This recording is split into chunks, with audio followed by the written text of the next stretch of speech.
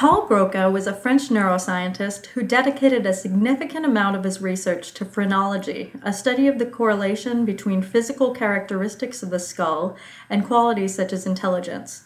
Although this field of study is now discredited, many of Broca's discoveries have proved fundamental to our modern understanding of the way the brain is organized. In 1861, Broca met Le Borgne, a patient whose advanced syphilis had left him with an unusual set of symptoms. Although he seemed to comprehend words spoken to him, he could only respond with the single syllable tan, accompanied by gestures, and if provoked, profanities.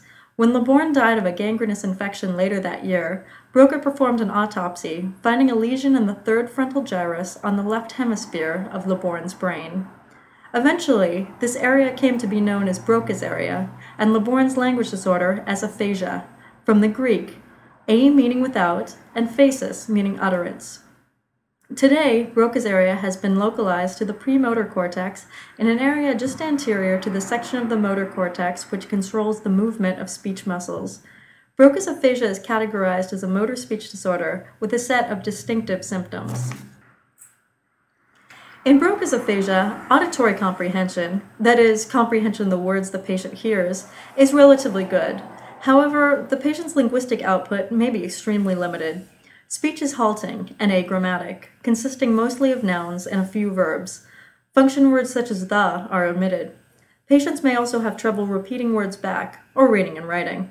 Additionally, because motor damage from a lesion can extend into surrounding areas of the brain, there is often a weakness or paralysis on one side of the body, conditions called hemiplegia or hemiparesis. The hallmark of aphasia is anomia, an inability to recall words, such as the names for objects.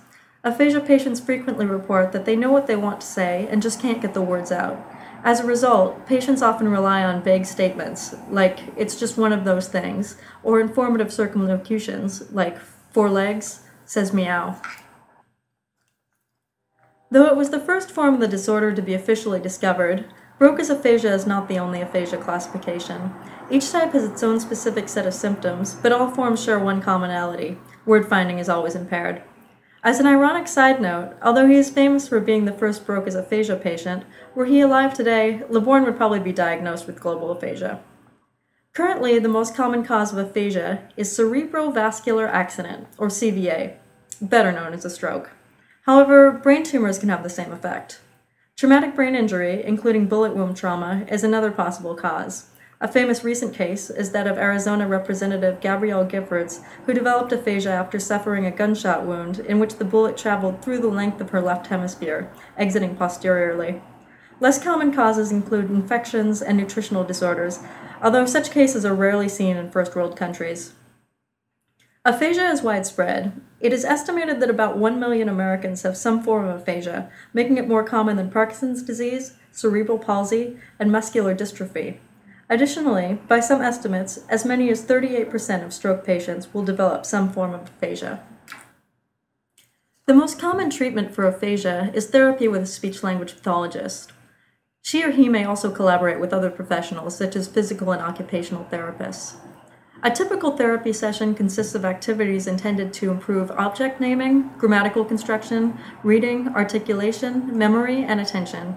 In certain cases where articulation or naming is highly impaired, the speech language pathologist and patient may work together to create an alternative means of communication using pictures, elements of sign language, or in some cases, specially designed computer systems. Such therapy may happen one on one between the patient and speech pathologist, or include a patient's caregiver, or even happen as part of a group therapy environment. Group settings may be especially helpful for patients who feel socially isolated because of their symptoms. While many therapy activities have long histories, several newer experimental techniques have emerged in recent years. Music intonation therapy, or MIT, is a technique based on the common observation that many patients with aphasia can sing with considerably less effort than they can speak. Methods vary, but generally patients are first taught to sing very short words and phrases.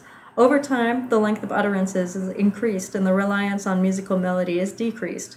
Proponents believe that music intonation therapy helps activate areas of the right hemisphere which assist in language production, and that it allows patients to regain not only basic language mechanics, but also the natural rhythm and intonation we expect in fluent speech.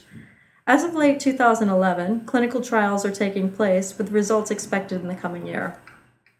Constraint based therapy is an outgrowth of a physical therapy technique in which stroke patients who experience weakness or paralysis on one side had the healthy side of their bodies forcibly constrained, requiring them to develop movement in the weakened limbs. Constraint based speech therapy works by loosely the same principle. Because patients with aphasia often rely on gestures to communicate, physical barriers are set up so that only speech can be used to complete activities. Practice is generally very intensive, but studies have shown significant improvement among some patients.